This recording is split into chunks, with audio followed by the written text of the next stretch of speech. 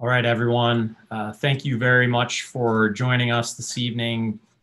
Uh, my name is Mike Scanlon. I'm the Executive Director of Strategic Communications at John Carroll and proud alum of the class of 2006.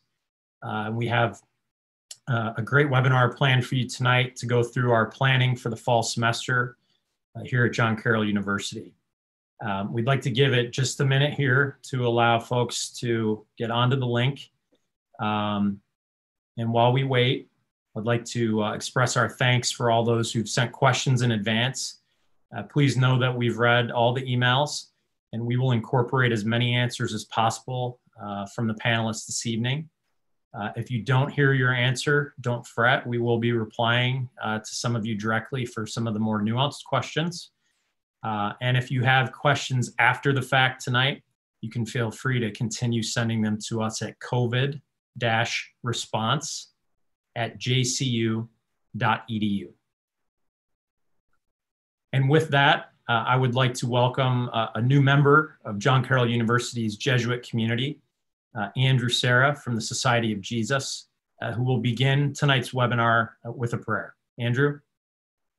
Thanks, Mike, and welcome everyone. Uh, it is a joy to be with you um, I'm coming to you from the chapel at the Jesuit residence across from campus, where all of us in the Jesuit community have been praying for you uh, these days. And so I would like to continue that prayer with you. Um, so please join me if you wish. In the name of the Father, and of the Son, and of the Holy Spirit. Amen. Lord God, we gather in gratitude this evening for this John Carroll family. We gather with all the expectation and hope and excitement for a new semester, a hope for new friendships, new learning, new adventures in grace.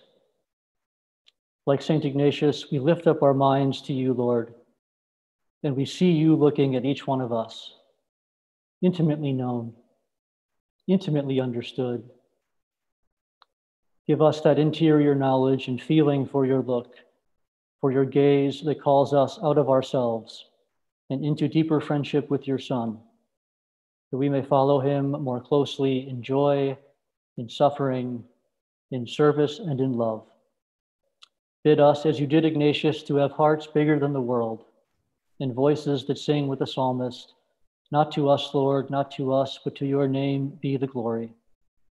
And so we entrust this semester all of our desires, our fear, anxiety, our very lives to the most sacred heart of your Son. And it is in his name that we pray. Amen. Andrew, thank you and, and welcome to John Carroll. Okay, and now to our panelists. Uh, as we've seen in the emails that we've sent in recent weeks, uh, we have a number of topics to cover tonight. We're going to start uh, with a general welcome and then move on to discussion about our academic plan, the HyFlex model, uh, the health and safety protocols that we have put in place here on our campus, uh, plans for residence life and the dining halls, uh, an overview of what students can expect uh, in student life and their experience on campus, uh, and then we will cover any topics uh, via a Q&A at the end that we've missed. but to begin, I'd like to welcome the president of John Carroll University, Dr. Michael Johnson, to give some opening thoughts. Dr. Johnson? Thank you, Mike, and thank you, Andrew, for the prayer. Uh, hello, everyone, and welcome. I want to open by expressing my thanks and appreciation to our students, parents, and families for your incredible flexibility and patience over the last five months. We know it hasn't been easy for you. Some of you are making preparations to come back to campus, and others are preparing to make the transition from high school to John Carroll. All of you are adapting to a new way of life in response to COVID. Here at JCU, we've been monitoring the pandemic on a daily basis dating back to last winter. our COVID 19 task force meets multiple times each week to assess, recommend, and deliver our university response to the pandemic. A cross functional team of campus leaders also spent much of the summer reviewing and implementing a strong and adaptable academic model for the fall. This evening, our team of faculty, staff, and administrators will explain the steps we are taking to ready our campus for your return. Our priority throughout the situation continues to be the health and safety of the John Carroll community. With your health and safety in mind, I want to acknowledge that our response to the COVID 19 pandemic evolves every day. The circumstances that we are dealing with continue to change, and that's why we are so appreciative of your patience and flexibility. We have plans that are ready to be implemented for living, learning, and working at John Carroll. Even still, there are several variables that we and many institutions like us continue to monitor. One variable is the need for our entire community to follow the strict health and safety protocols at all time, including when you're not here on campus. As it relates to the conduct of our community, I want to be clear. A lack of cooperation by one individual who refuses to wear a mask, practice physical distancing, or follow hygiene expectations could put our entire community at risk. Just witness what is happening now in professional and college sports. The second variable is the availability of consistent COVID 19 testing. We are prepared to test symptomatic students and provide quarantine and isolation options for our campus. We are working with our hospital partners as well as private labs to add, our, add to our testing protocols as we continue to monitor the virus numbers in the state of Ohio and Cuyahoga County. I want to be clear that our intention remains to bring our students back to campus for the fall semester, but only if and when it is safe to do so. At present, we remain concerned about the level of cases in the state and across the country. So the only breaking news of the evening, so to speak, is that there could be a delay to in-person living and learning at JCU.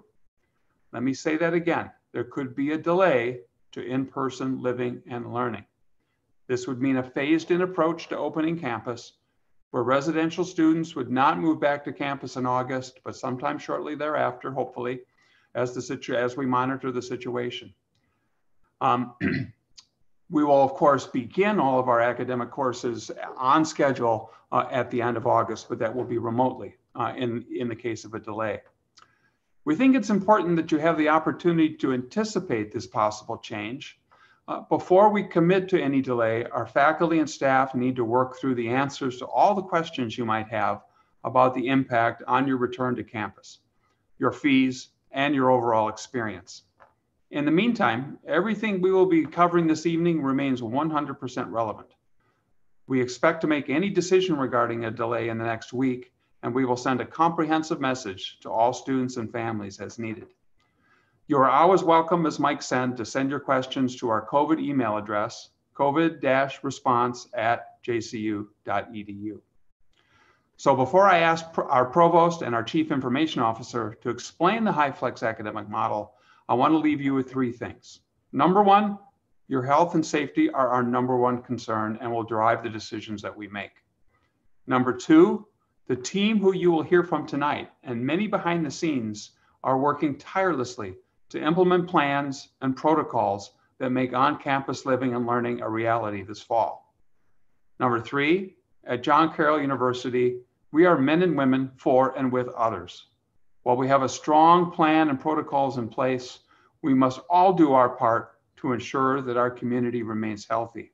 So wear your mask, stay six feet apart, wash your hands, and if you feel sick, quarantine yourself and call our health center. Now I'll turn things over to our provost and academic vice president, Dr. Steve Herbert, to help you understand the HyFlex model. Steve? Thank you, President Johnson. It is a real pleasure to be with you this evening, and thank you for joining us. When we uh, when we left you in the spring, we were busily transitioning our in-person instruction to a, a form of remote instruction that no one anticipated. I want to reiterate that we will be begin our instruction on Monday, August 31st as planned. we quickly pivoted to a, a, model of instruction called the HyFlex. It's a model of instruction that's been around for many decades, but it's been advanced of late because it affords a great deal of flexibility to students in particular in choosing how they best learn.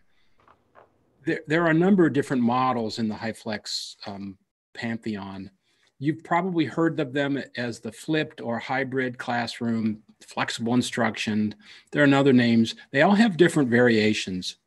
But what they do is they allow both faculty and students to be flexible in delivering and receiving their instruction over the coming semester. So that is why we chose it. So here's the basic idea. If we take the rote or fact-based elements of learning out of the classroom time and make them available to students on demand, that is 24-7, or we, we call it asynchronously, and that's usually delivered for an online or a, a, an online um, uh, platform for efficiency.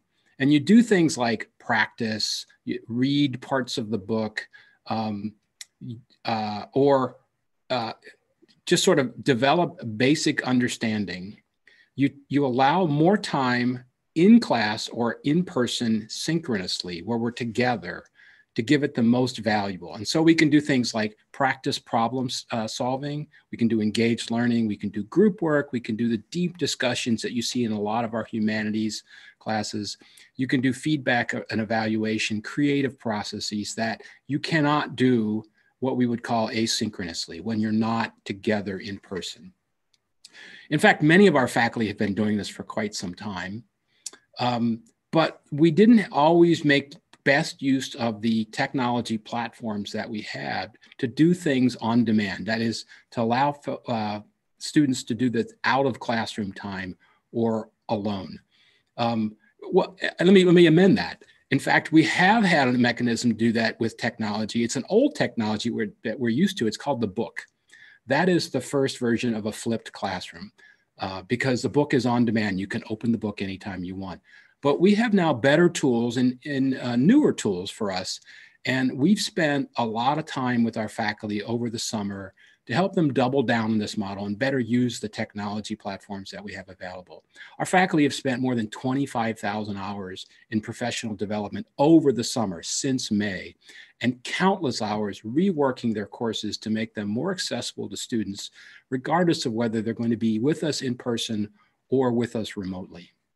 So we've really taken pains to enhance the classroom experience over what you experienced in the fall, uh, or excuse me, in the spring. And that's because we didn't have time to do that. We've taken the time this summer. So I want to emphasize the, the HyFlex model is there's some new elements to it, but it's not going to be as new as you might think.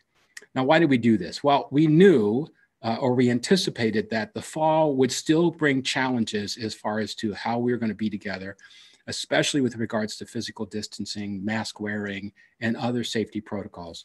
So uh, we challenged our faculty um, to come up with this model. And so we, we, um, we knew that students might not be able to be with us uh, in the classroom together because of classroom capacity issues. Physical distancing guidelines said that classrooms that formerly uh, would have held 20 students now might be limited to half as much, 10 or so. We know that there are health concerns that might prevent students and faculty from being present with other students. We want to emphasize that if students, faculty, or staff do not feel well on any day for any reason, we encourage you, we ask you, stay off campus. We do not want to put any of us at risk. So if you don't feel well, we ask you to stay out of the classroom and off campus as much as possible. If you're in the dorms, you stay in the dorm rooms. Um, there are also personal challenges in in these days when if we're remote, we we're, we do not have sort of the isolation and spaces where we can devote the time directly to our instruction uh, or learning. And so with the personal challenges that life has gotten more complicated, sometimes you may not be able to be in, with us in class. And so in those instances where you either are intend to go remote or find yourself having to go remote on that day, that is take and attend class remotely, typically through Zoom. This model allows us to pivot and accommodate you um, seamlessly. Now, I want to take just a minute and explain. We we interchange this word online and remote, and I, I want to I want to emphasize that for the last several decades, we've had what's called online learning, and that has typically meant that Uh, if you take an online class, you're getting your instruction, we would call it asynchronously. You typically do not meet in person with an instructor or often with other students. It's usually set up that way. Um, over the last several months, especially as, as countless colleges across the, the country have really started delivering their classes remotely, we have conflated that with, we call it online because we deliver it in an online experience, usually over the web or through Zoom or through some other platform. And so online versus uh, in person has come to mean certain things. So I, I want to sort of avoid that and say, we're talking about remote learning, not online asynchronous learning. We still expect to experience, to deliver the kind of experience that you are used to from John Carroll Education. That is, you're going to have personal interactions with your with your professors, with students, and with the staff who support you. Um, who will be on the online classroom and who will not? We've surveyed almost all of our students to determine who is planning on being fully remote, in person, or mix in certain cases. Uh, we have certain cases where labs are better delivered in person, and some students who are signed up for labs want to know how that's going to work, which I will address in a moment we have those numbers and we've given that information to the faculty. So the faculty in general know who in their courses desire to be or plan on being remote full-time, who are plan to be in, person full-time.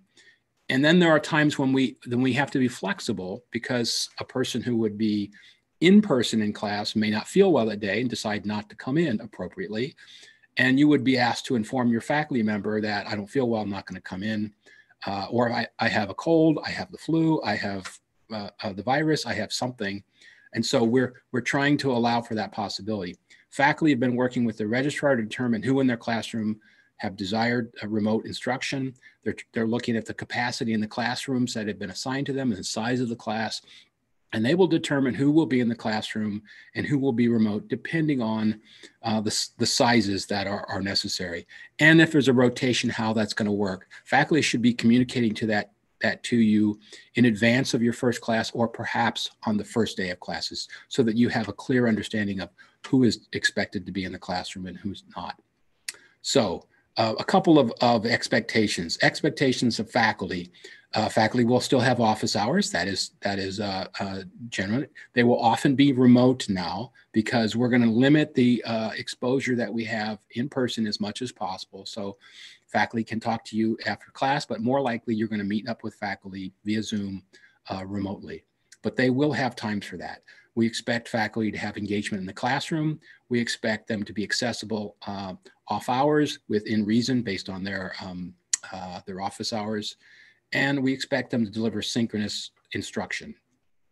Now, I want to I want to be clear. There are some classes that we offer that are listed as online, and in many of those cases, not all, that means that they will be delivered asynchronously. That is, there's no planned interaction with students.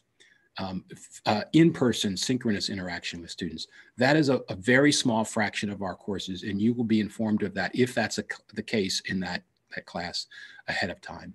Most of the classes will have some version of, they will all have synchronous aspects. Some of them may include what we would call asynchronous. For instance, a Tuesday, Thursday class, you might meet Tuesday in person, Thursday online. That, that may occur regularly, it may occur irregularly, and faculty will keep you uh, apprised of that. It depends on the nature of the course, the nature of the instruction, the kind of interaction that they plan. Um, but all of our classes, with the exception I just mentioned, will have a synchronous portion, whether it's in person or remote via Zoom. Expectation for students. We expect you when you come on campus to wear masks at all times when you're not in your dorm rooms or alone. When you're out in public, when you're in the classroom, you must have a mask on. We expect you to respect the physical distancing requirements. Um, we expect you to remain engaged in your courses and let your faculty know when you're challenged to, uh, with what's going on in your life. That is, if you're not feeling well, if you're sick and can't operate, if you have personal or job obligations, um, be aware that the faculty have a right to expect your engagement in the course. And if you cannot be present or in person remotely, then you are responsible for catching up on the work, right? Just because you have a good excuse for not being there doesn't mean you're not responsible for the work. Our hope is to record the lecture sessions via Zoom and make them available to students for makeup or catch up purposes. If you cannot be present synchronously, then you have the opportunity to catch up with that. and I, I want to emphasize this is not an excuse to miss class, um, but there are good reasons where you can't be present both synchronously or in person. Like the spring, we ask that you have patience with each other and with our faculty as we navigate these very challenging times. If you're, and I want to emphasize, if you you find that you're struggling for any reason, that if you can't keep up, um, you're, you're under stress, you have personal obligations you have to navigate, please reach out to us. Let your faculty member know. We have other members of our uh, advising staff that will be happy to help you. Um, we can help, but you sometimes have to let us know. You have to reach out. I want to address one last thing before I, I uh, kick it over to our technology.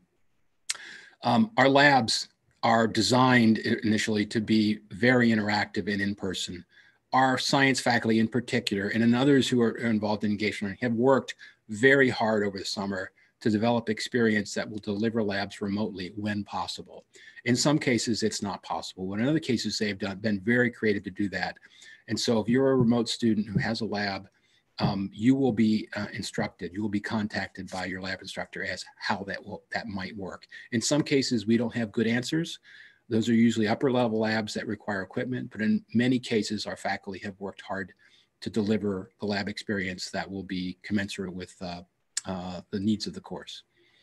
Um, specific questions should be directed to uh, the science chairs or the faculty members that you have.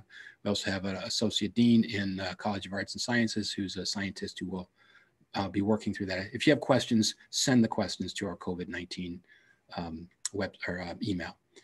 And now it's my pleasure to introduce uh, Jim Burke, who's our Chief Information Officer and the Head of Instructional Technology and Servicing Technology Services who has been uh, responsible for really putting in place and delivering much of the technology that's going to make our in-person and remote experience as seamless as possible.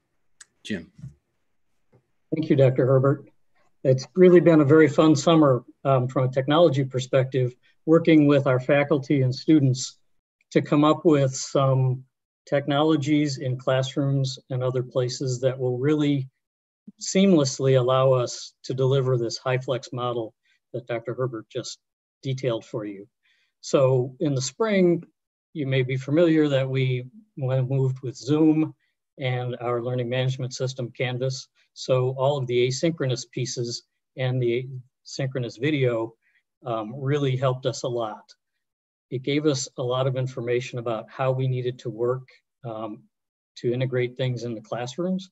And so working this summer with our faculty and our student, students, we've been able to come up with a design and every classroom that has classes in it will have at least a camera and at least one microphone so that we can link the students in the room with the students and the faculty who may not be in the room. Um, the speaker system in the room itself will broadcast the remote students. So you have two-way communication between the people in the room and the people who aren't in the room. The classroom microphones have actually been specifically selected and tuned so that they clearly reproduce the voices from the classroom, even with masks on.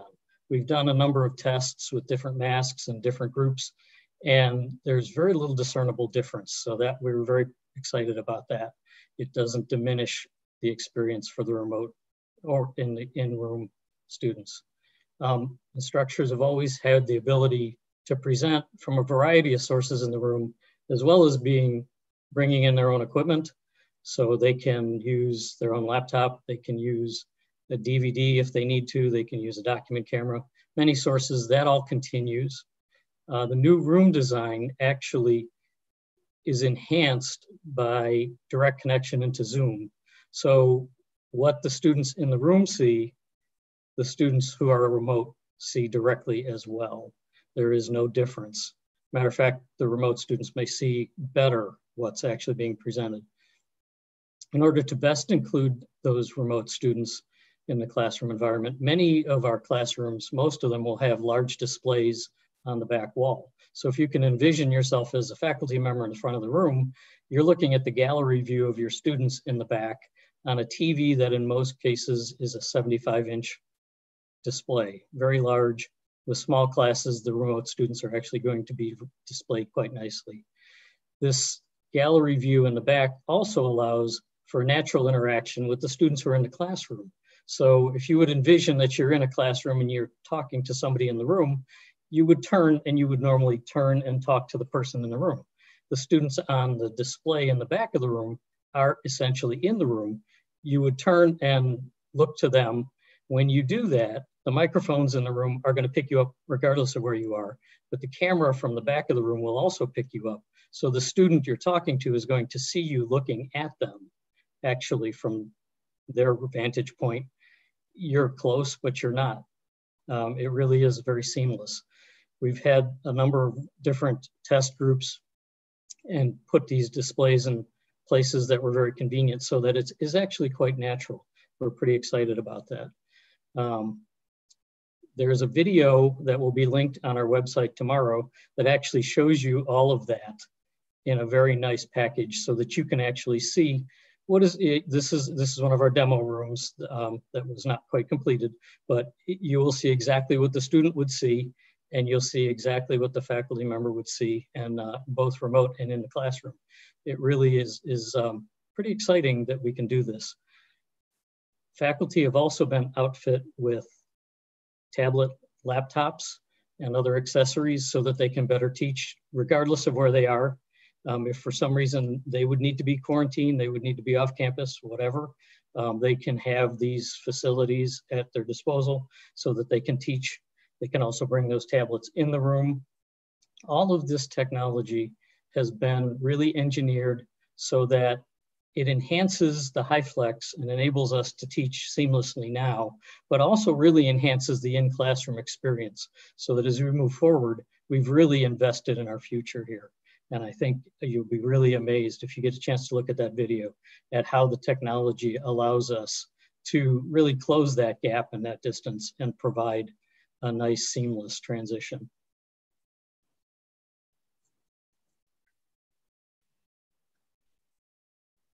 That's it for the technology piece. All right, Jim. Thank you very much. We'd now like to move on to the health and safety portion of the webinar. Uh, and to lead that, I'd like to welcome two individuals who have been uh, integral members of the COVID-19 task force uh, and have helped prepare our protocols uh, for a return to campus in the fall uh, Gary Hominy, who's our Director of Regulatory Affairs and Risk Management, uh, and Jan Krev, who's the Director of the JCU Student Health and Wellness Center. Uh, Gary? All right. Thank you, Mike. Um, all right, so I'd like to start with an explanation of some of the uh, new COVID-19 induced uh, protocols on campus. Um, as Dr. Johnson and Dr. Herbert uh, already mentioned, uh, masks are going to be a big part of that. Uh, masks are required in all buildings with only a few exceptions. Um, you will not need a mask when you are actively eating or if you're um, in your residence hall room with your uh, roommate, if you have a roommate. Um, Masks will be required outside if you cannot maintain a uh, six foot physical distancing. Uh, speaking of physical distancing, that's that six foot bubble that will kind of be around all of us and help us maintain that bubble uh, on campus. Uh, we have been de-densifying classrooms, labs, lounges, the cafeteria, elevators um, all of those have been, the occupancies have been reduced so that we can maintain that six foot um, physical distancing. Uh, there will be markers on the floor indicating, uh, you know, like six foot hash marks uh, in front of service areas or anywhere where queuing might be re uh, required. Um, for example, like at a cafeteria. There will also be plexiglass barrier, barriers uh, at all service areas there will be some uh, new things on campus. Um, signage. There will be a lot of new signage on campus. We have your wear your mask signage, and we'll be reminding you about physical distancing and washing your hands.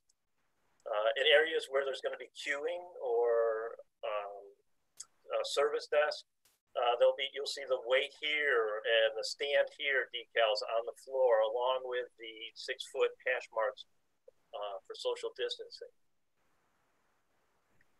Um, all of the classrooms, lounges, meeting rooms, they'll all have occupancy and layout signage. So you'll know how many people can be in that room and how they should be dispersed. Uh, we also have the COVID 19 uh, information signage up, and uh, we'll have hand sanitizer signs up. And I mentioned the hand sanitizer signs because um, we have installed a number of new hand sanitizer stations across campus. Um, every card access and high traffic entrance or area will have a hand sanitizer uh, located in that area. All the restrooms have hand sanitizers and locker rooms, computer labs, and residence halls. And each one of these will be identified uh, with a label so as not to be confused with any soap dispensers. Now I'd like to move on to um, our enhanced cleaning protocols. Um, across campus, we have uh, increased our uh, frequency and locations of all of our cleaning. So uh, there's increased uh, frequency of cleaning in restrooms, uh, meeting rooms, classrooms, uh, high touch points. Those are going to be your handrails, elevator buttons, door handles, common areas. they will um, all re receive increased cleaning residence hall, the shared bathrooms and lounges, and athletic facilities and recreation facilities as well. Our um, cleaning contractor, ABM, also has a uh, deep cleaning response team that can uh, or can go to an area where if we feel there's been a COVID exposure or we feel that an area might have been somehow contaminated, uh, these folks have been certified and they can go in and um, uh, address that issue and clean that area. We also have bought them some additional equipment. We have five um, disinfecting foggers. These foggers uh, can be used all across campus. So you, know, you can imagine in a, uh, just for example, restrooms or athletic facilities or things like that, where we could uh, roll that out and uh, fog an area and sterilize an area. There will also be sanitizing wipes in all the classrooms, meeting rooms, computer labs, and shared residence hall bathrooms. These are big tubs of wipes, uh, and they'll be available uh, for you to uh, wipe down uh, any area that you may be, uh, may be in. But with all this, there, there's one there's one place that our contractor cannot clean and nor can JCU, and that's your hands. Wash your hands, wash your hands, wash your hands. We have plenty of new uh, hand sanitizing stations across campus, so there's no excuse for now coming in a door and just giving it a little uh, squirt on your hands and wiping them down. Uh, let's see, next. Uh, our HVAC upgrades. We have made uh, many improvements to our HVAC system. We have increased the air exchanges and makeup air, so there will be uh, more of that. Uh, we have increased the frequency of filter changes. And where uh, applicable, we have installed HEPA filters in our systems. And I would also say there's always the opportunity to open a window if weather permits to let more air uh, into any room. We've kind of already touched on classrooms, but again, I want to mention that the classrooms have been dedensified. The occupancy and seating layouts are uh, will be on every room door, and we will have on the floor markings where the uh, chairs or tables go and where there is appropriate seating. Uh, and again, as I mentioned, sanitizing wipes will be in all of the classrooms, labs, meeting rooms, and computer labs and shared residence bathrooms. Um, the last thing I want to mention is the unidirectional exits, entrances, and stairwells. We're going to have signage that, you know, some stairwells will be up stairwells, other ones will be down stairwells. Uh, you know, there'll be different entrances and exits to the building. Uh, of course, if there's ever an emergency, you should just uh, exit the building using whatever stairwell or uh, exit is nearby. Uh, but these will all be marked. Uh, they're color coded um, across campus. And um, with that, I will turn it over to Jan to talk to us about the health center and the health and wellness center. Thank you, Gary. First, I would like to just appreciate um, all of you for just sharing your evening with all of us tonight and listening to what we have to share with you. The JCU Health Center is located in the basement of Murphy Hall. The entrance is on the side where the dining hall building is. It's right across from the dining hall. This semester will be a little bit different. We will not have walk-in appointments. We ask that students first call and do a phone screening with one of the nurses and make a plan either to schedule a telehealth visit or an in-person visit. This phone call will also include a COVID-19 risk assessment. The health center plans to do symptomatic PCR testing of COVID-19. And of course, we already test for flu, strep, and mono in our office. JCU Health Center's medical director is a Cleveland Clinic physician, and many of our protocols directly follow Cleveland Clinic's protocols. Cuyahoga County Board of Health and the local health departments will be providing contact tracing if needed on the JCU campus. We will assist with contact information they may need for the case, any pot potential close contacts that they may need to be quarantined. They will do most of the contact work, but JCU will assist to identify those who may be impacted, such as a roommate or a coworker. The Board of Health will collaborate with messaging on campus to provide outreach to students and to staff. We have to be careful about sharing um, information because of HIPAA requirements, and that includes the identification of case information and medical details regarding um, the general public. However, this information can be shared between the health department and the school administration. Students will also be receiving in the next couple weeks an app called Campus Clear. We do expect all students to use this app, as it is a daily system symptom assessment. And additionally, staff from our health center will be conducting random temp temperature screening around campus. So what should you do if your student or you feel sick? Generally, we ask you to stay in your residence hall, call the health center. We will do a phone screening and make a plan, telehealth visit or an in-person visit. We will probably email paperwork that may need, be needed for the visit and students should return the paperwork via email or bring it into their appointment. If the screening for COVID-19 risk assessment is positive, students can come to the health center and get tested. But prior to coming to the health center, we will also um, help the student make a plan either to go to their residential home or to an isolation room on campus. Some of the advanced questions that we received, we're going to go through them now, Gary and I. And so we were asked, does the Cuyahoga County Board of Health, uh, the Cuyahoga County Board of Health is recommending remote learning for uh, K through 12. So what's John Carroll thinking about this? This is a recommendation and many school systems are planning to have schools students return in person to school. Safety, of course, is our first top priority and consideration when planning for return of students on campus. Our plans were reviewed by the Cuyahoga County Board of Health and Cleveland Clinic, and their recommendations have been added to our plan. Both institutions agreed our plan is very comprehensive and well thought out, keeping the safety of our students first and foremost. Will all students need to be tested? As of today, our plan is to test, to test symptomatic students only. What is the plan to quarantine students from high-risk area states prior to moving to campus? So students traveling from states outside of Ohio that have been identified on the state of Ohio tra travel warning list should plan to quarantine in Ohio for 14 days prior to coming to campus. Thank you, Jan.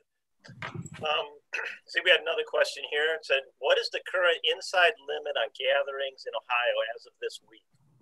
Um, inside uh, gatherings are limited to 10 people or less. unless there's an exemption.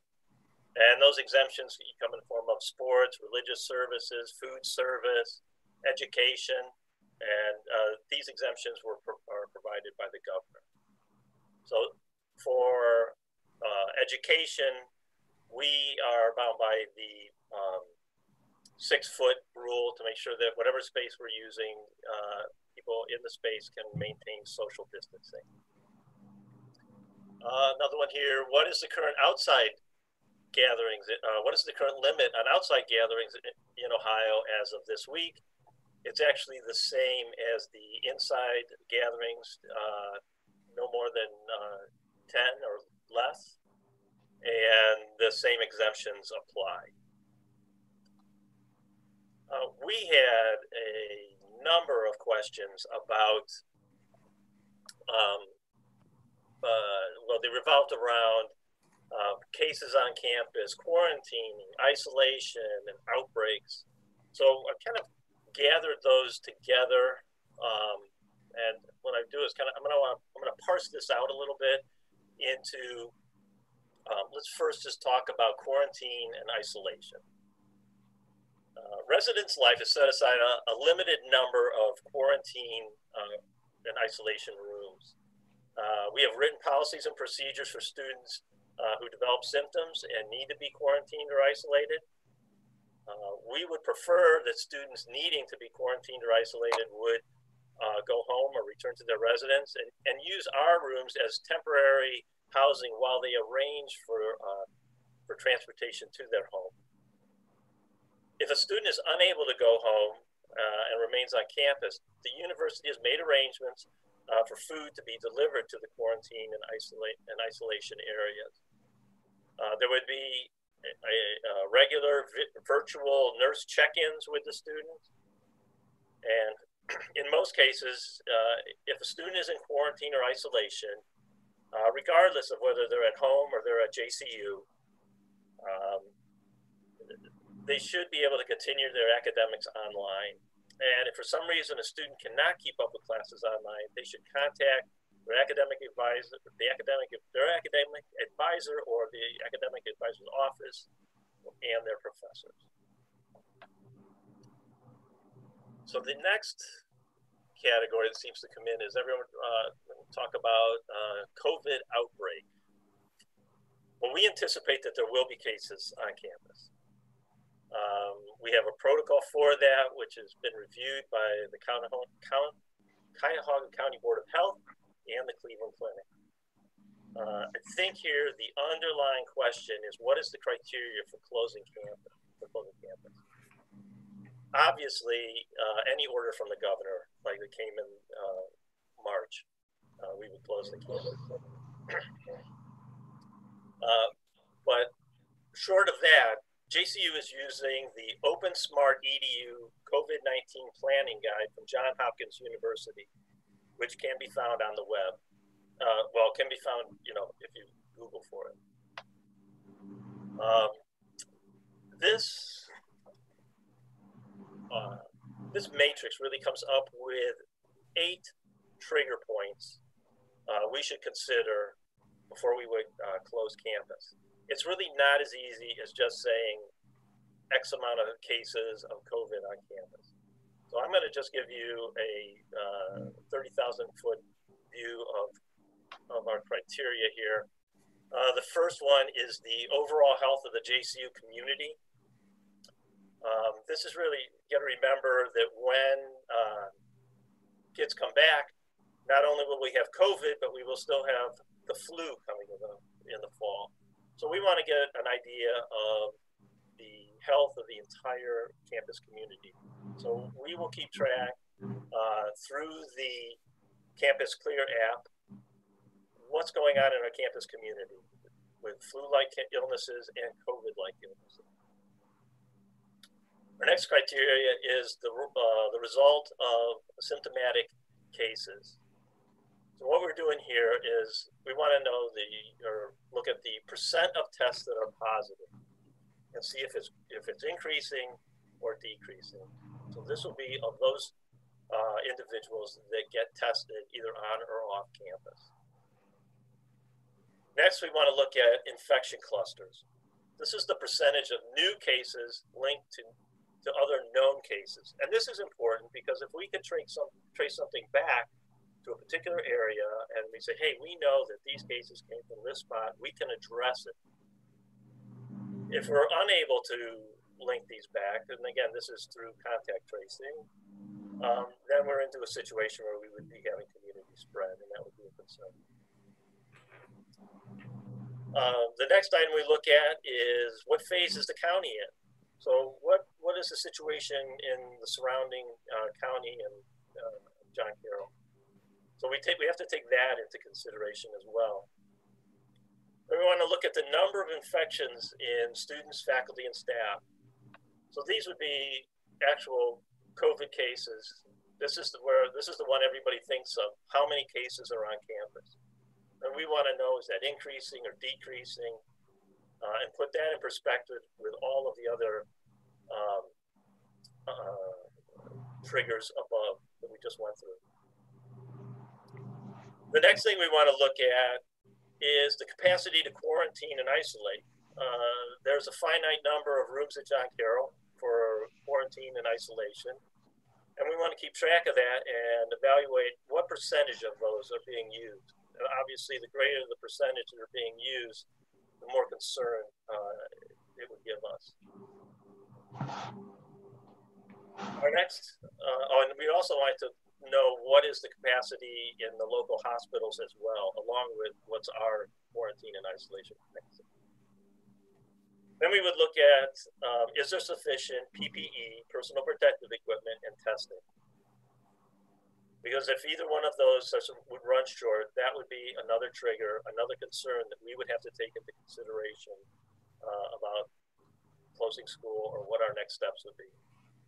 And then there's our last one, which are is our stakeholders complying with uh, with the mandates.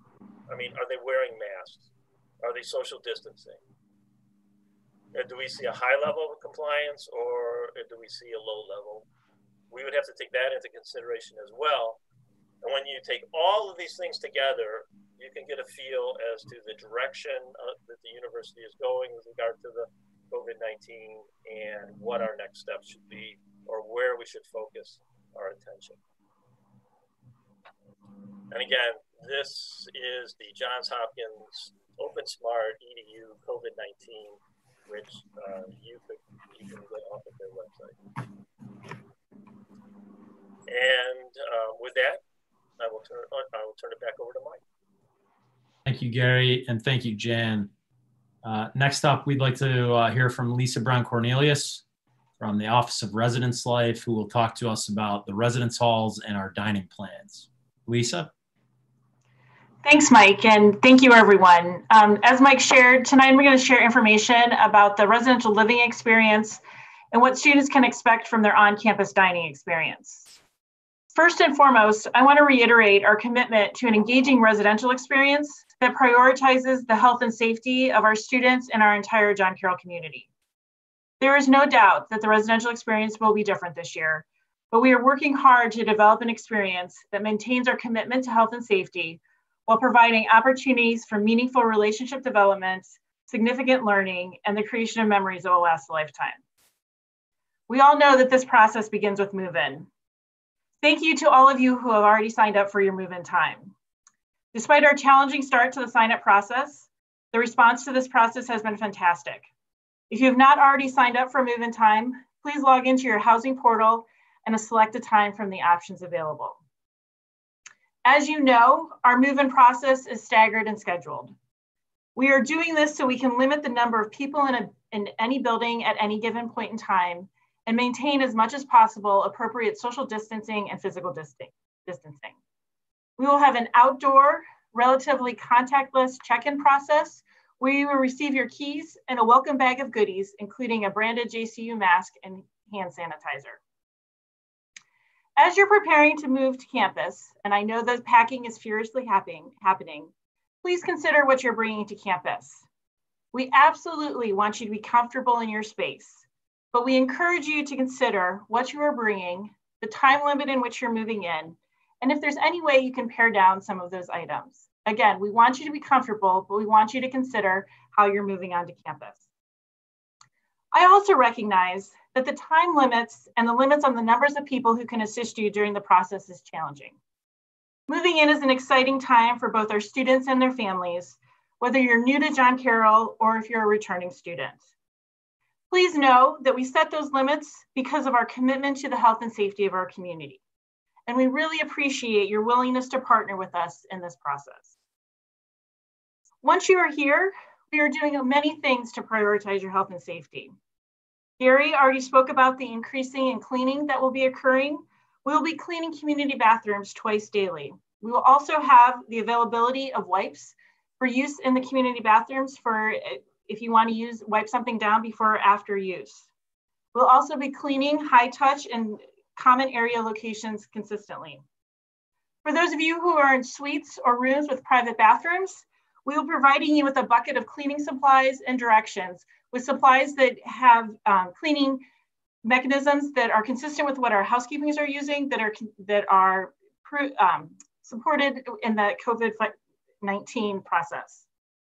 We're also developing furniture and room setups that maximize physical and social distancing. We have determined and posted maximum occupancy locations in each in all common areas. At the same time, we've also developed interim policies, all of which can be viewed on the Residence Life website, that are here to prioritize everyone's health and safety. As was indicated earlier, in the residence halls, masks will be required at all times, except when you are alone or with your roommate in your assigned residential room or suite. Masks must be worn when there is a guest in your room and masks must be worn when traveling to and from and while in community restrooms. They may be removed, however, when you are engaged in a personal grooming. We also have interim policies related to guests in the residence halls. In order to maintain the appropriate physical and social distancing and to limit the number of additional individuals in the, in the residential communities, we are enacting interim policies um, for the upcoming year. No overnight guests will be permitted in any residential spaces, including other John Carroll students. Guests will be limited in residence hall rooms based on the room type and the number of students assigned to that specific hall room or suite. When guests are in a student room, masks will be required for all in the room. When guests are in your room, we also ask that you maintain six feet of social and physical distancing um, in addition to the mask requirement. Residential students will be asked to keep track of all guests who are in the room in the event that a guest, that they or a guest has positive for COVID-19 and we need a contact tracing is required. Guests who are not affiliated with John Carroll University will not be permitted in the residence halls. We know this is a difficult interim policy, but we are limiting the number of guests in order to limit the risk to the rest of our community. So we appreciate your partnership in that.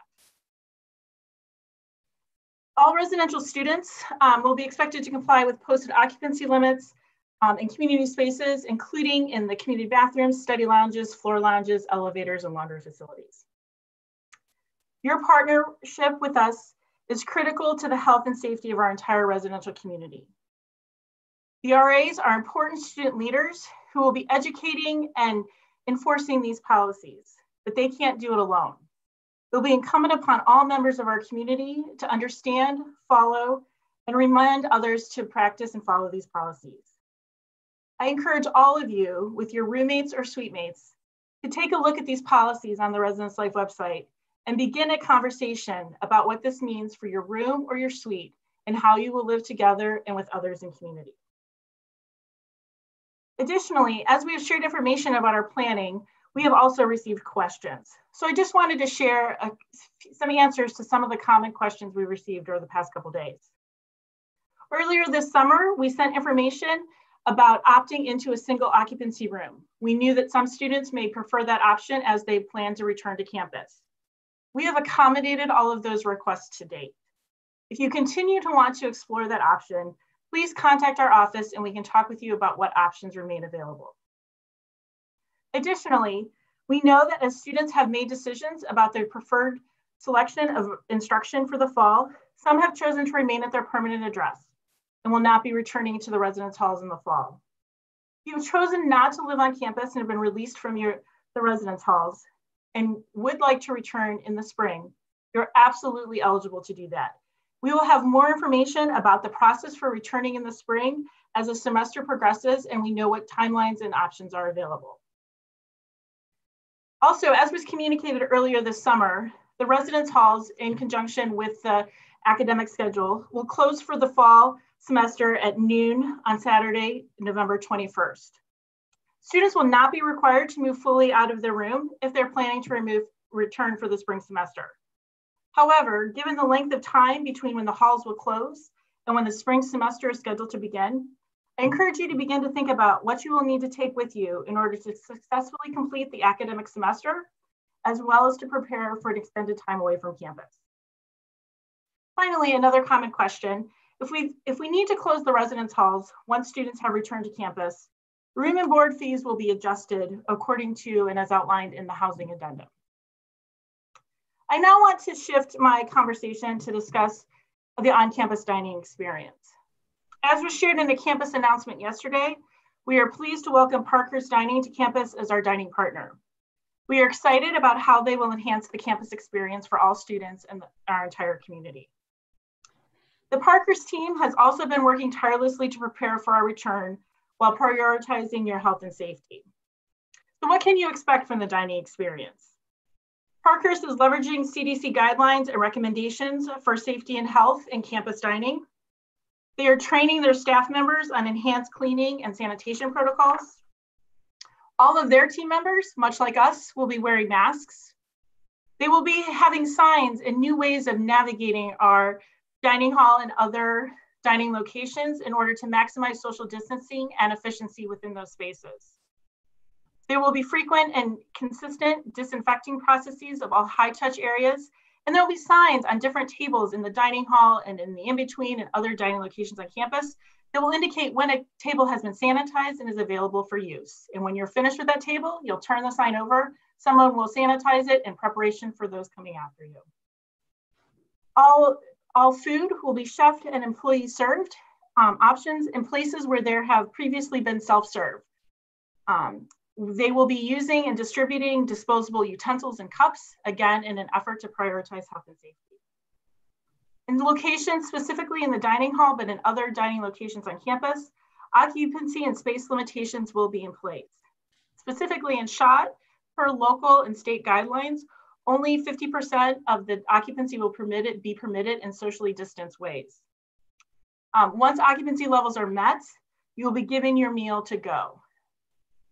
We recognize that we don't want students to feel like they don't have a place to eat. So we will also be designating locations in the student center where you can eat if the occupancy in the dining hall has been met. So please know that we are accounting for that as we work on our planning. Parkhurst is also excited to offer an app for mobile ordering. That mobile ordering will be available in the Inn Between and Einstein's. And then we'll also have touchless check-in and cashless dining at all locations and in the dining hall. Finally, as we partner together, please note that we will all be required to wear a mask in all dining locations, except when we are seated and actively eating.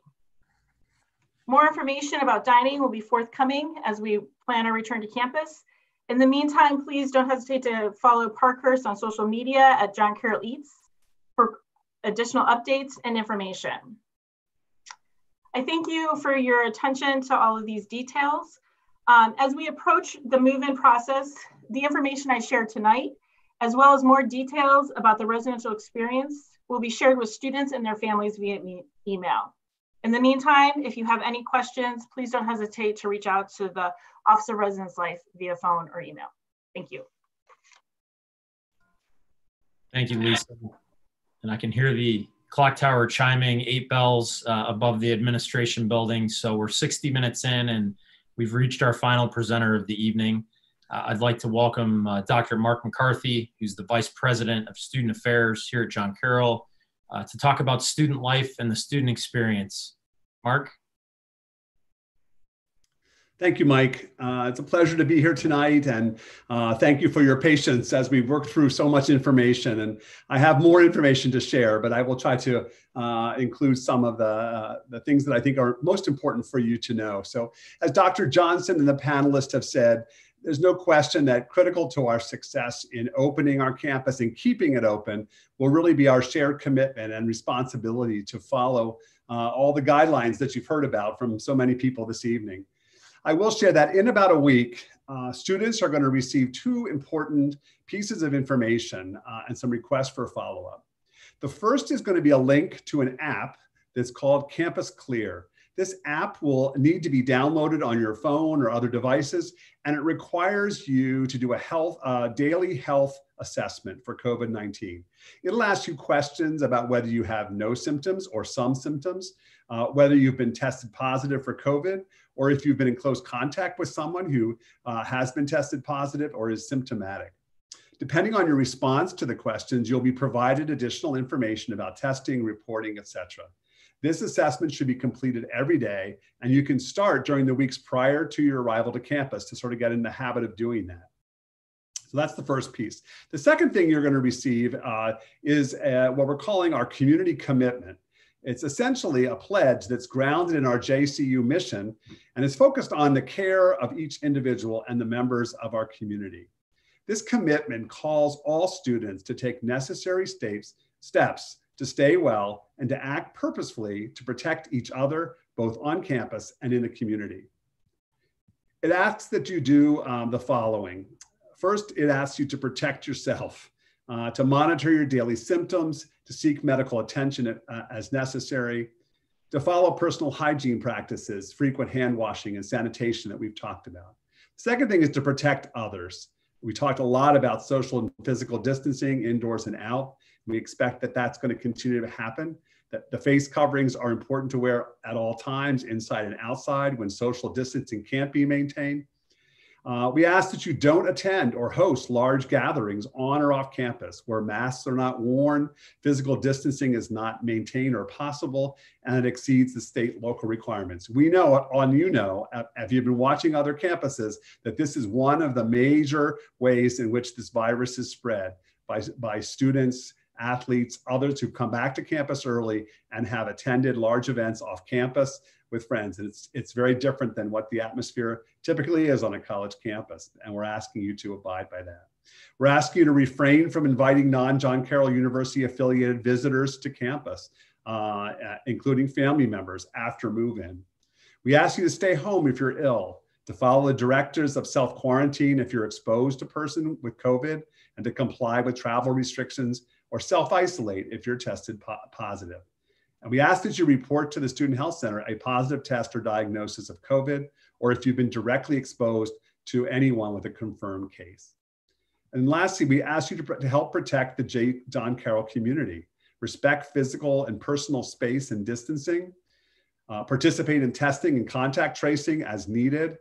Keep yourself, the personal space and your communal spaces clean uh, and to serve as role models for other in following the policies and protocols. So all students are going to be required to read and sign the commitment document prior to coming to campus, moving into a residence hall or going to a class on campus. This way we can know that you agree to do everything you can to keep yourself and the John Carroll community safe. So we had a lot of rules and restrictions that we've talked about. I guess I'd like to talk a little bit about what campus life will be like this fall. Um, and if you're a returning student, it will certainly be different. If you're a new student, you'll be experiencing student life uh, on John Carroll for the first time in a new and different kind of way. I can promise that all of you will have stories to tell about your, your time at John Carroll during future alumni weekends. Uh, so uh, some people have asked questions about, am I going to be isolated in my room on campus and not able to go anywhere? Well, that's that's not what our hope is. We really we need you to be able to get out of your rooms uh, or to come to campus from your rooms off campus. Uh, so you, there's not an expectation you're going to be isolated in your room. Uh, but, but as many have said, all of our spaces have been de-densified uh, so that there's less people in those spaces and that masks will be required in the student center, library, other locations on campus. Visits uh, to home are discouraged. Uh, we're trying to keep the, the students who are here here, and that's partly why uh, we have class on Labor Day and have eliminated the, the fall break. We'd like you to stay here if at all possible, uh, but it's imp- and it's also important to understand the various state requirements for quarantine when you're entering and leaving Ohio. Uh, and that changes almost weekly. So uh, it, it depends on what's going on in other states. Uh, and quite frankly, it depends upon what New York and other states think about our students in from Ohio. So you got to be watching that carefully. Otherwise, you might be required to quarantine somewhere else uh, and, and, before coming back to, to campus as well. So uh, we talked about the visitors and including family and non-JCU affiliated persons uh, are really not permitted on campus. Uh, of course, if there's an urgent situation, uh, visits will need to be uh, uh, approved and you can arrange, or you can arrange to meet off campus grounds.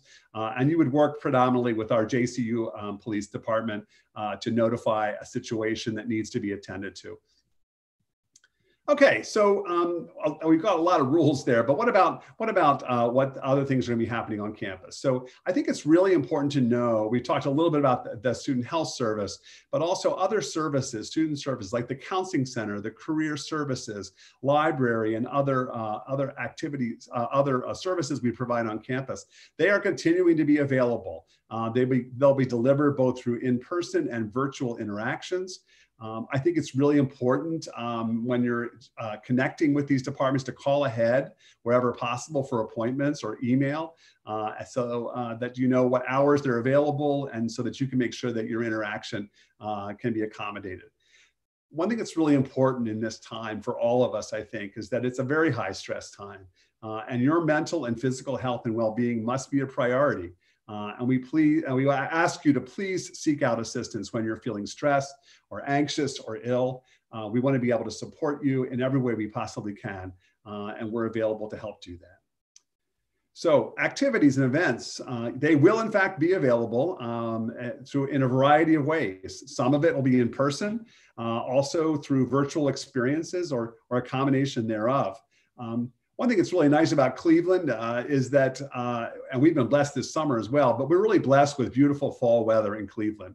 So we're going to be able to offer outdoor activities. We really want our students to be outside uh, and to be able to participate in, in, in, activities as long as we can maintain physical distancing in that process. So we're getting very creative about ways we might do that.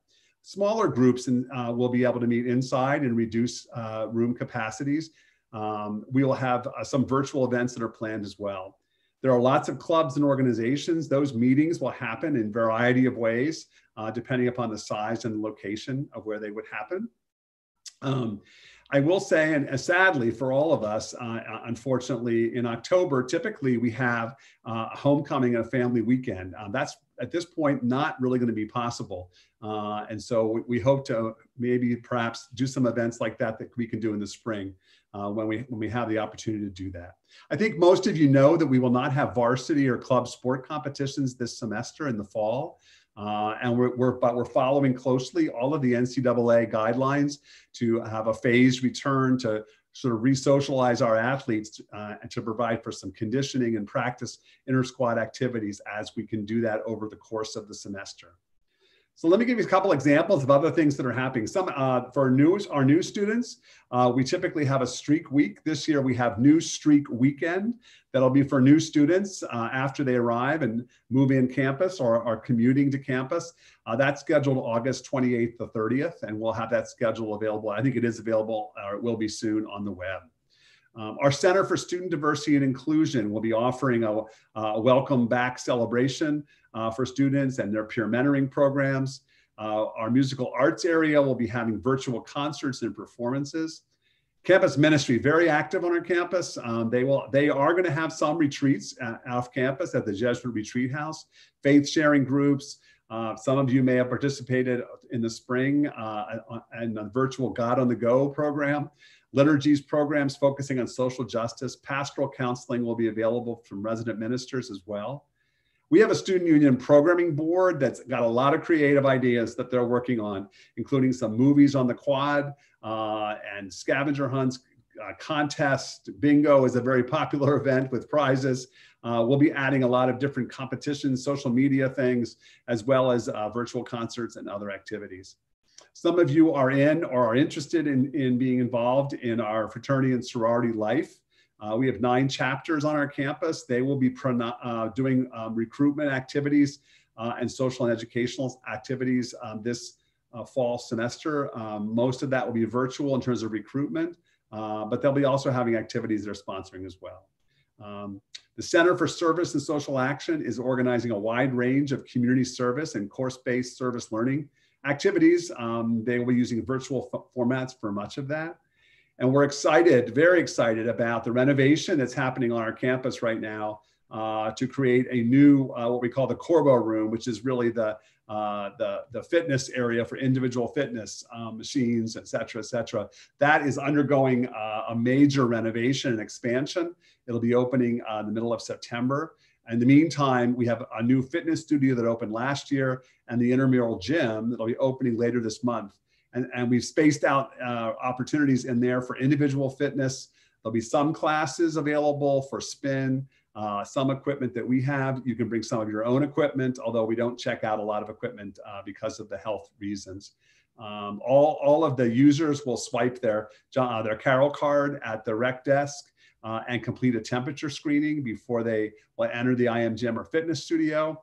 Um, and uh, there's a lot that we've taped workout squares on, on half of the IM gym so that uh, people can do their exercising, uh, etc. At the moment, we're not using a reservation system yet for space in any of these locations, although when the Corbo room opens, and I think it'll be quite popular with new, all kinds of new fitness equipment in there, uh, we may need to in institute a reservation system so that people uh, can set up a time when they'll be there and uh, limit that as well. So we're really excited about all of that uh, and the opportunities that we have. Um, really, uh, many of these things are run and organized by students for students. And so, you know, the sky's the limit for creativity, and we look forward to those, see what, what comes up uh, as we, we prepare for the fall. So anyway, uh, so what I guess my final things I want to talk about is what do you do to prepare to arrive to campus? Um, and I guess, so uh, what I would say is for the two weeks prior to arrival, um, our hope is that you'll begin to use the Campus Clear Daily Symptom Assessment app, um, that you'll read and sign the JCU student commitment document. Um, and we really hope that you prepare yourself to come to campus as healthy as you can be. So we're encouraging you to avoid non-essential travel and large gatherings for the 14 days prior to coming to campus. That's going to be tough. I know uh, that people like to have send-off parties before they come or last-minute gatherings with friends. Uh, it's really important that those are the kind of events that on other campuses have created a real um, uh, urgent need. As soon as they came to campus, we found positive tests uh, because of the gatherings people had before they arrived. So we're really discouraging that and hoping that you will uh, will avoid those kind of gatherings. The last thing I would suggest is to purchase. We, we, do have some face masks available on campus, and residential students will be receiving them. And uh, but I encourage you to purchase and use face coverings and bring them along so that you enough along so you can keep them laundered and ready to go. So with that, I, I want to conclude by just thanking you all for your patience uh, in all of this tonight. And uh, we, we are uh, felt that we are very prepared for your arrival and look forward to uh, really meeting you as new students and, and visiting and returning with, with the returning students to have a great semester. Thank you.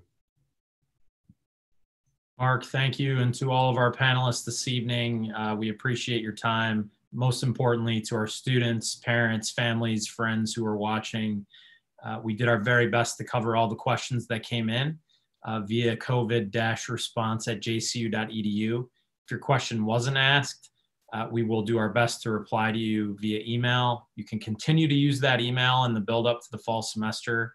Uh, we will monitor it uh, and someone from our uh, panel or other otherwise will uh, be in touch with you. Uh, again, thank you. Uh, stay safe, stay healthy, and we look forward to seeing you very soon here on John Carroll's campus. Thank you and good night.